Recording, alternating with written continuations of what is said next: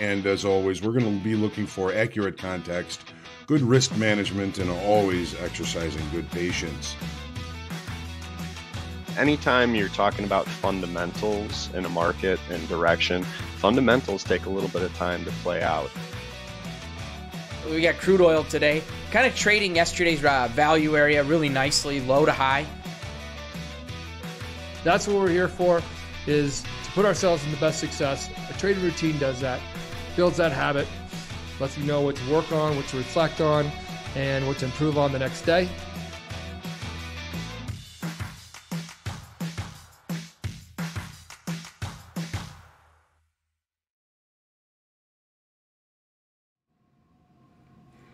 Good afternoon and welcome to the Market Recap. I'm John Hoagland, sitting in for handsome Dan Hodgman. It's Wednesday, September 1st still. Thanks for trusting me with your time.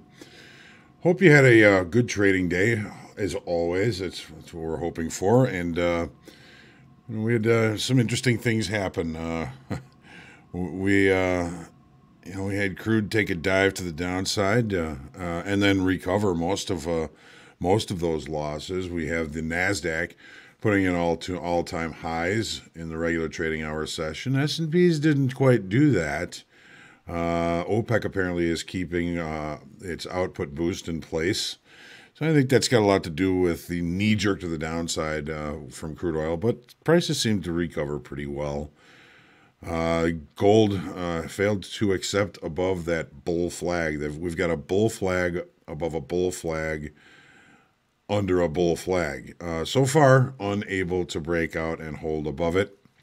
Uh, the Euro uh, is still wrestling, uh, having quite the wrestling match with weekly kickoff high. And the uh, the 10 year had a, a, pretty good knee jerk reaction to the upside after the ADP number came out this morning. And it really just uh, kind of flat ranged the rest of the day. Um, you know, as far as other news is concerned, uh, everybody is, I'm sure, talking and thinking about for the next couple of days uh, the unemployment number due out because uh, private payroll is really disappointed today. Uh, we talked about that on the forecast this morning, and uh, it didn't really seem to affect the equities too much.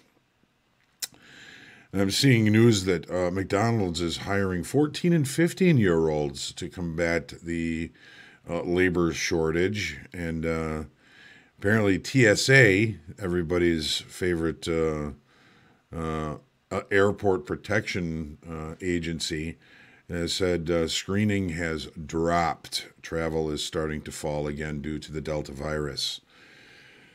So we've got all that going on. Uh, good afternoon, Ednelson, Vince, Ricardo, Tim, Bill, Ange, and NM. Dan gets better looking every week. I will certainly tell him that you said that. Uh, and uh, had a, uh, I think, a really good uh, group session, group coaching session today. Uh, again, if you were there and I didn't get to your question, I am so sorry about that. Um, you know, we uh, I always take the emailed in questions first, and you know, Fred's questions I thought were very important, very good information for everybody moving forward. So. Uh, we'll try and get through more of them next time. You can always email in your questions so I can get set up for them before then. And we'll look forward to next Wednesday. Uh, also, next week, we're starting some futures kind of classes. I don't know. These are things that we did uh, when we used to have a squawk radio uh, Tuesday because Monday's Labor Day. Nobody should be working on Labor Day on Monday. But Tuesday at twelve thirty, I'm going to have a, a, webinar that's going to basically be the uh, the history of futures trading, why it started, when it started, how it started, and some interesting information about how Topstep uh, has had a pretty uh, pretty close connection with uh, with some of the history in futures trading. And then, of course, you know we got uh, more information Wednesday, Thursday, Friday and then it'll start on Monday, Tuesday, Wednesday, Thursday, always at 12:30. Hopefully, when the markets are slow and you got a little bit of time to join me, and I look forward to uh, having the opportunity to spend even more time with everybody, which is something that I that I truly uh, truly enjoy, and I hope you find useful as well. Um, I guess we can jump into the charts and uh, just kind of look at what the markets did. Maybe talk a little bit about what we were thinking and talking about this morning. We uh, start with the crude. I've got the 30 minute chart up here.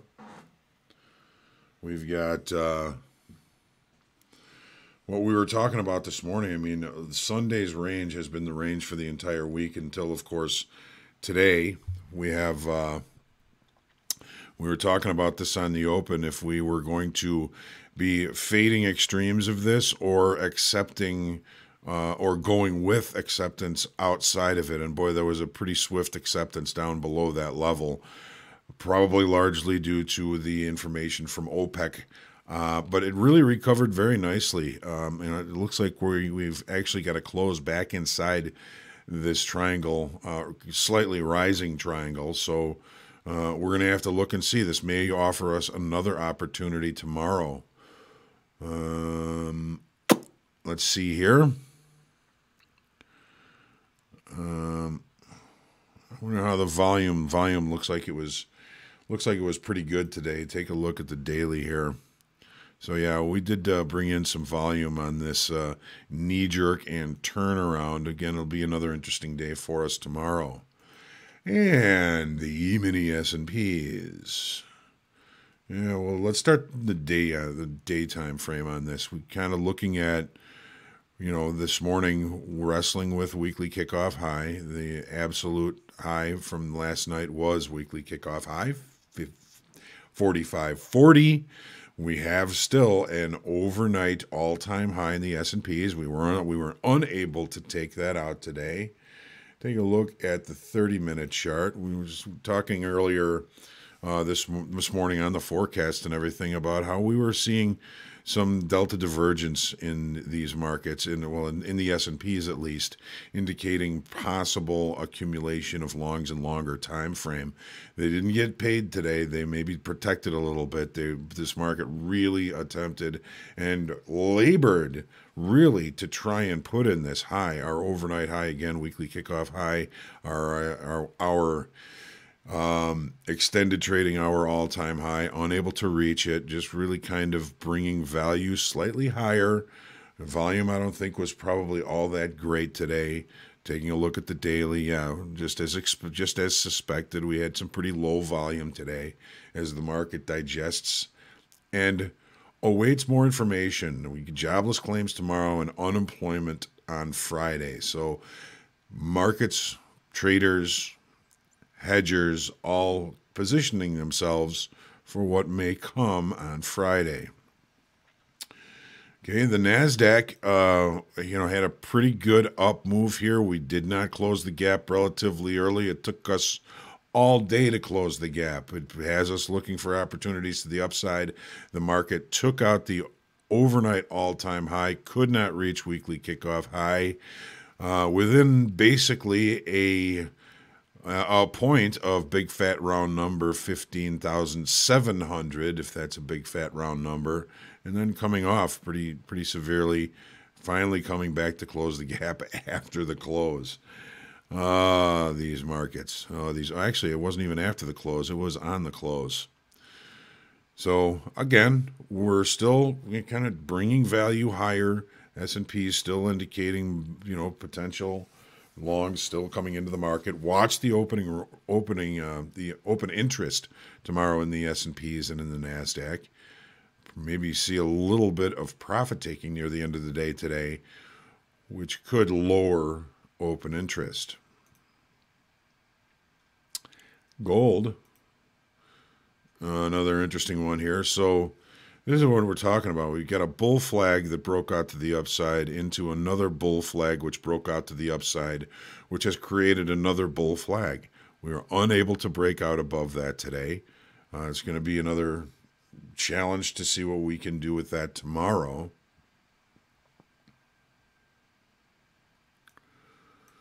Here is today. We had a pretty good uh, attempt to find acceptance above the top trend line of this most recent bull flag, which was rejected. We're back inside the bull flag. Doesn't mean this can't be can, this can't continue to be an, an attempted um, acceptance above that tomorrow or overnight. Uh, just the fact that it got that deep into it says, you know what, our sellers up here may or may not be all of that, all that aggressive. Market really got pretty deep through there. So, testing last week's high. In the 30, uh, the uh, euro okay, broke out, you know, Friday, pretty decent volume seeing the market continuing to one time frame higher on the daily chart. In other words, every successive low is higher, every successive high is higher. And uh, now wrestling with weekly kickoff high. This is stage one breakout of a market state. We get up above this and we accept. I, I would expect that that's going to change market state from range bound or downside to upside. And there's our weekly kickoff high. The market opened. Did not necessarily leave the opening range to lower the session today. I think we took a little bit of, of a look below it before finding some legs to the upside. Of course, this is you know something that's uh, that is affected by. Eh, I got this on the wrong number there. This is a this was a, of course affected by um, the uh, ADP number this morning, uh, and you know kind of looking like we're pretty much closing right on weekly kickoff high. A little bit magnetic here. Be careful with that tomorrow morning. And so the uh, 10 year, you know, we're kind of looking at uh, the market holding some overnight shorts here. London session, we kind of took those back uh, ADP. We had a pretty good knee-jerk reaction. Was kind of thinking about a, a, you know a potential rejection of value from yesterday, which the value area special situation play wouldn't even have been worth trying today. The market kind of came up and uh, has has value outside of yesterday's very narrow area of value. Uh, you know, I'm looking at this 10 minute chart, looking at what happened today, you know, looking at the uh, yields in 10 year. Everything seems to be on hold until they start to come up with some sort of expectation as to when the uh, buyback um, program is going they're going to start to to slow down on that. So I think a lot of hurry up and wait in our treasuries, at least so far this week. Um, Justin, I see your question here. Uh, I'm sorry, ELT. I see your question here. You still offering one-on-one coaching? Uh, I am, but unfortunately, right now, it is full. Um, we think if you go on the website, you can uh, you can put yourself on a waiting list. God, it really pains me to say that. I would really love to be able to help more people, but you know, it's there's only so much of us, and and uh, I, I don't want it to, you know, I want everybody to that, that that I work with to feel like they are important to me, and and trust me, they are. So ELT, just get on the on the on the waiting list if you'd like to, uh, and I will look forward to working with you soon. Uh, all this recorder in case I have to go to work. No, Jerry, we don't. Well, the market forecast and recap are, of course, recorded. You can see them on our YouTube channel anytime. Uh, Justin, can you look at NQ for us? Well, let me see if I can. Uh, it's not a product I'm I'm typically focusing on. Um, Justin, if you'd like, I can start to kind of look at it in the coming days here, and I know that there's a lot of people interested in it. Maybe we can add it to the forecast here. If I take something off or um, I will look to add it. Uh, I don't really want to look at it today because I haven't had the opportunity to uh, acclimate myself to any any of the things that I'm going to be looking for. I gotta I've got to read into it a little bit before I want to comment on anything. Um, but yeah, nat gas, I, I got you. You know, it's not a product I'm usually focused on. So I don't want to do any kind of knee jerk reaction or comment on it until I do some research on it. Um, I will, you know, consider adding it to the market forecast, but you know, look maybe for, um, yeah, net gas. We already do the Nasdaq, but I'll look to add the Nasdaq or the uh, nat gas. I just said it myself. Maybe I was saying it. I don't know. Kind of tired today. Um, it's a long day. Uh, but I, will look to add it for you. Um, give me some time to research, get familiar with it and its personality a little bit, and we'll take a look at it from time to time here on the forecast and on the recap if that's something you'd like. But again, I don't want to just jump in and say, well, this is this and that is that, um, without having some opportunity to really kind of research it. So we'll, we'll talk about adding that on here as as time goes on. All right. Uh, what happened on this day in history? Uh, let's see. September 1st, 1972, and what is billed as the match of the century, American chess, ma- chess grandmaster Bobby Fischer defeats Russian Boris Spassky in the World Chess Championship in Reykjavik, Iceland. I actually remember this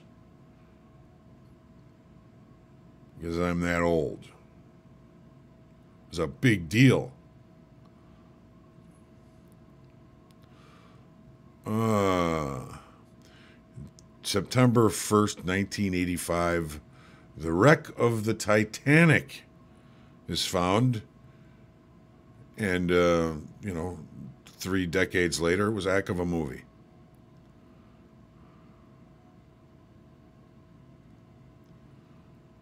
Uh, 1964, the first Japanese player makes his Major League Baseball debut.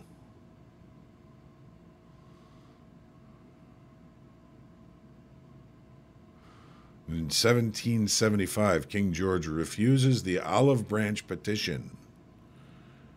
Some some uh, revolutionary war.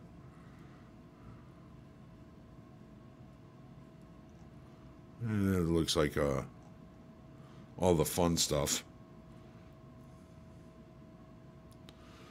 And on this day in music, let's see what happened.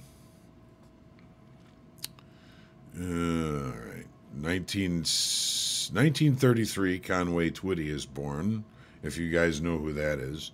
1966, I had a GTO, a 1966 Pontiac GTO. And uh, the Who had a single, I'm a Boy, that entered the UK chart, peaking at number two, giving the band their second number two hit.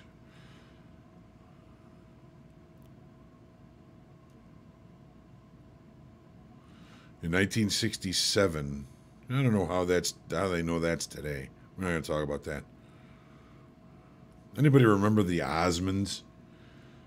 The Osmonds were number one on, on the UK singles chart with the Johnny Bristol song "Love Me for a Reason."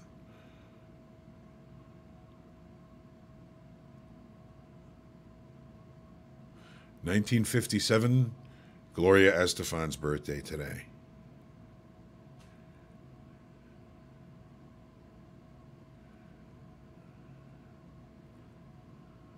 Yeah, it's all the. That's about all the fun stuff. Sometimes there's things on here I don't even know. 1977, Blondie signed her uh, first major record company contract on this day. You remember Heart of Glass?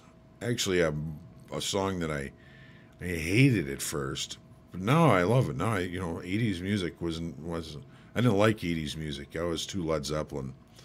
1988, Fleetwood Mac ended a nine month tour with a performance at the Hollywood Bowl. And at the end, Lindsey Buckingham announced on stage, This is our last show for a long time. I think I saw them the very next year at Alpine Valley.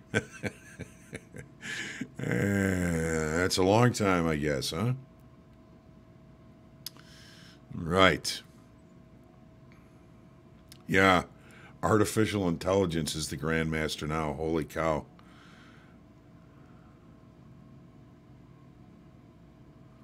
Right. All right, I'm going to uh, gonna go rest up now. It's a long day. Uh, tomorrow is Thursday. Jobless claims, unemployment on Friday. Lots to look forward to.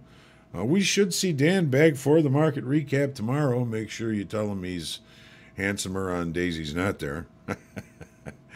and uh, I will look forward to seeing you tomorrow morning on the market forecast. Get some rest tonight. If you're trading tonight, make sure you uh, keep your powder dry for tomorrow. And uh, we'll look for the opportunities. Again, same bad time, same bad channel, same same time. Market forecast. Until then, get some rest, be good to each other, say a prayer for world peace. Blessings, everyone. Have a great night.